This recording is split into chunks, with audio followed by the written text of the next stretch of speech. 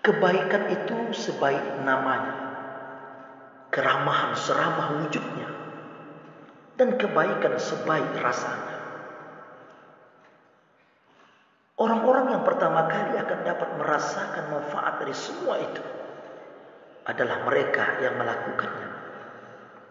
Mereka akan merasakan wah seketika itu juga dalam jiwa, akhlak, dan nurani mereka. Sehingga mereka berselang lapang dada, tenang, tentram, dan damai. Ketika diri anda diliputi kesedihan dan kegundahan, berbuat baiklah terhadap sesama manusia, niscaya anda akan mendapatkan ketentraman dan kedamaian hati.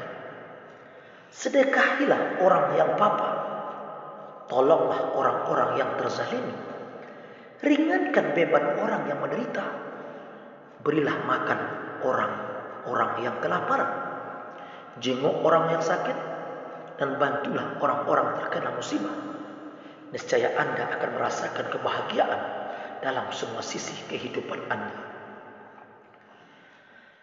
Perbuatan baik itu laksana wewangian yang tidak hanya mendatangkan manfaat bagi pemakainya, tetapi juga orang-orang yang berada di sekitarnya. Dan manfaat psikologis dari kebaikan itu terasa seperti obat-obat manjur yang tersedia di apotek orang-orang yang berhati baik dan bersih.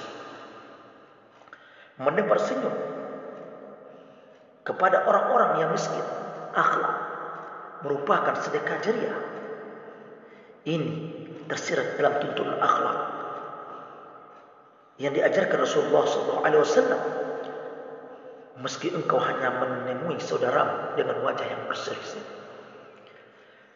Sedang kemuraman wajah merupakan tanda permusuhan sengit terhadap orang lain yang hanya diketahui terjadinya oleh Sang Maha Gaib. Seteguk air yang diberikan seorang pelacur kepada seekor anjing yang kehausan dapat membuahkan surga yang luasnya seluas langit dan bumi.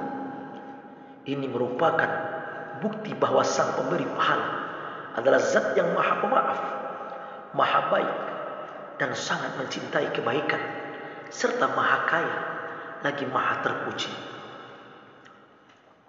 Wahai orang-orang yang merasa terancam oleh himpitan kesengsaraan, kecemasan, dan kegundahan hidup, kunjungilah taman-taman kebaikan.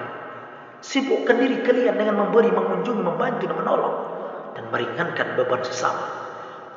Dengan semua itu, niscaya kalian akan mendapatkan kebahagiaan dalam semua sisinya, rasa, warna, dan juga hakikatnya.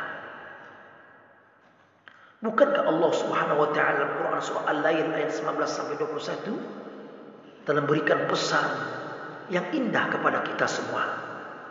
Yang artinya padahal tidak ada seorang pun memberikan suatu nikmat kepadanya yang harus dibalasnya. Tetapi dia memberikan itu semata-mata karena mencari keridhaan Rabbnya yang maha tinggi dan kelak dia benar-benar mendapat kepuasan. Semoga bermanfaat. Assalamualaikum warahmatullahi wabarakatuh.